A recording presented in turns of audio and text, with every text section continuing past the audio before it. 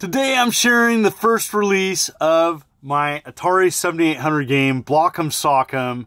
I do believe this is one of the best versions of the game. I worked with Daryl Genther, who's a programmer, and collaborated with him for several months, and it's finally complete. I'm super excited to share with you a physical release. Now it's going to be at conventions, but it's also going to be available complete in box at Atari Age eventually as well as I'm working with Atari and trying to get this on the Atari VCS, as well as some other options, fingers crossed.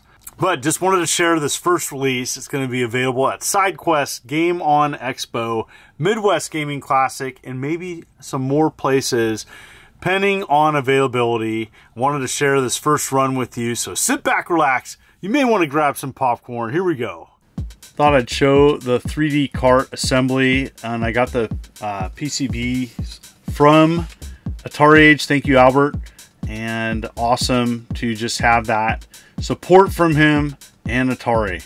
And so here are 3D printed shells, which I got from my good friend Gary of Rock Solid Productions.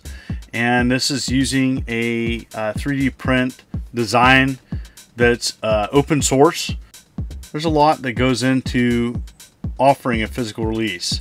Uh, I had to get my own screws, but uh, a couple local places had them and had something that was compatible. It's screw number four, half inch, if you're curious. Uh, they didn't have specifically the, the, the flathead top screws or what, however you want to say that, um, but they had the next best thing and it works.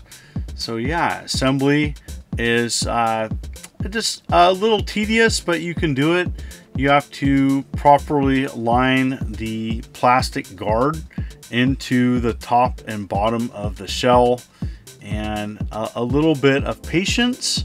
Uh, but this is significantly easier than assembling 2600 shells, which I, I do in the hundreds over the years uh, for my aftermarket games. Catacombs of Chaos, Retro Game Quest, Game Panic, and Game Panic 3. So uh, here it is. You just align it like so and put the top and bottom part of the shell. But Gary of Rock Solid Productions did a great job. He he offered me a, a small batch of 3D printed shells. Really, really nice looking. Uh, the uh, some of them have this like I don't know design on them uh, it's hard to explain, but it essentially is due to his 3D print setup. He has a great channel, you may want to check it out. Offers lots of 3D printing stuff as well on a store. So screw it in like so. This particular design has four separate screws. So, you know, that's uh, more, it's kind of overkill, but uh, it's nice and sturdy. And, um, you know, the, the greatest thing about this, though, is the programmed edition of Yamaha Sound. With a 2600 plus update, it can play the Yamaha Sound. It's great. Um, unfortunately, uh, with a standard 7800, that's not an option. But in the demo, if you have a, a, like a game drive, uh, 7800 game drive, you can play that sound. So here it is. And now I'm going to go ahead and get the labels. Here's the labels offered from Atari Age.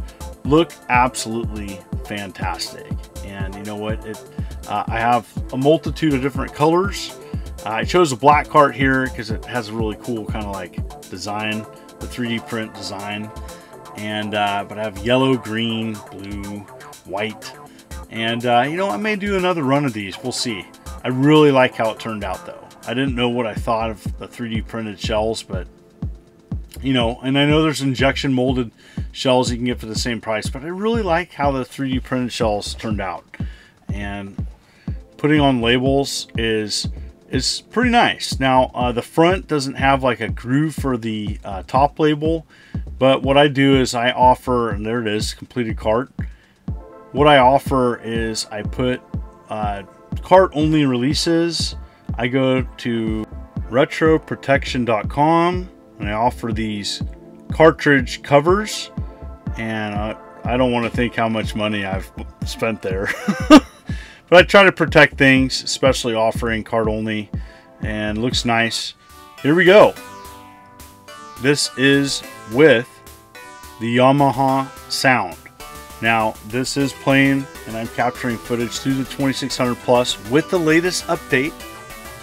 There is three different difficulty settings, options, as well as instructions. The instructions are built in. Daryl did an amazing job of inputting all the instructions. Now, this has some bonus features some of the other versions don't have.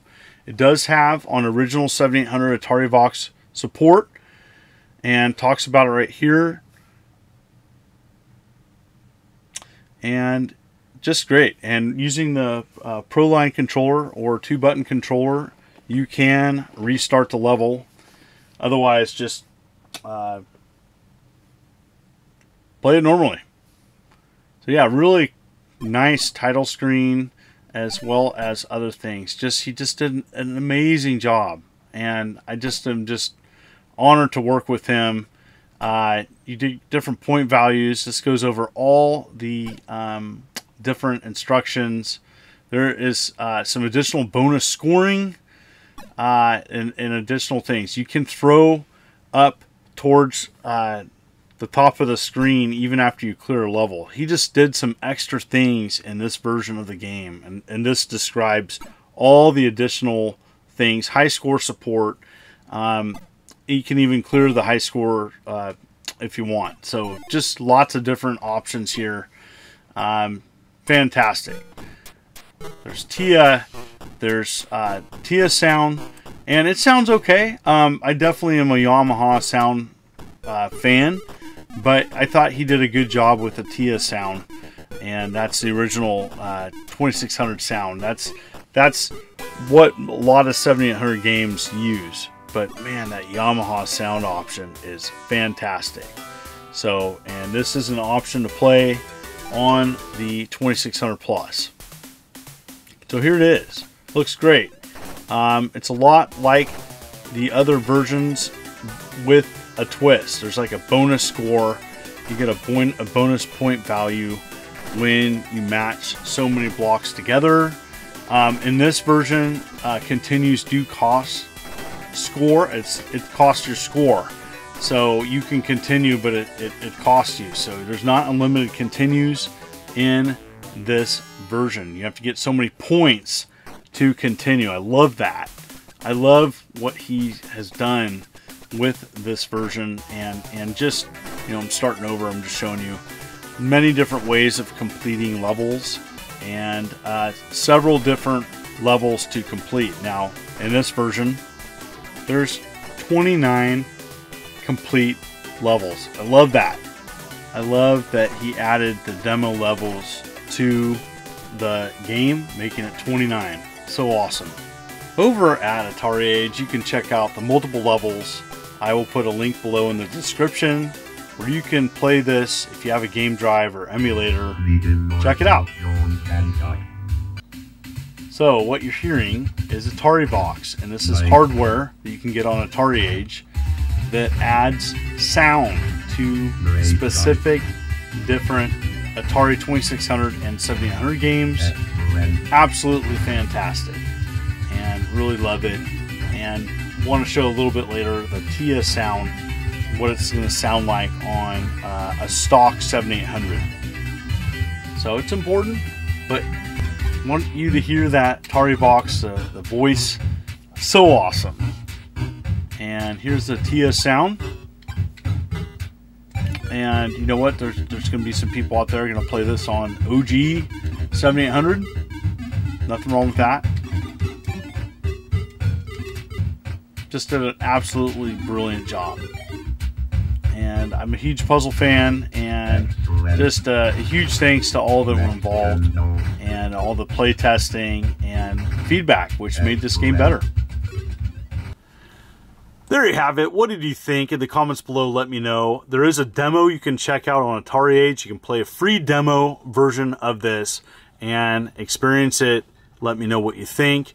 And as always, thank you for coming to my channel. I'm a huge Atari fan and cover all things Atari and really excited to have this release.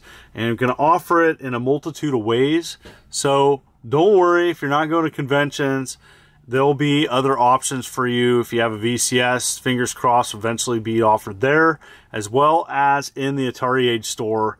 But man, I love how this turned out. I want to thank Daryl so much for his hard effort and work. He worked diligently on this, and I absolutely love what he made of this game. And want to thank Atari Age for offering uh, a, a, physical release of this, as well as offer me parts to offer a physical release in person, and as well as Second Dimension, who did the very first version of Block'em Sock'em, were many of the versions that uh, afterward were based on. Thank you so much for coming and viewing this. If you like what you see, you consider hitting that like and subscribe button and clicking the bell as I'm uploading videos every week. You folks are wonderful and beautiful. Let's keep it positive. This is the Immortal John Hancock, and you take care.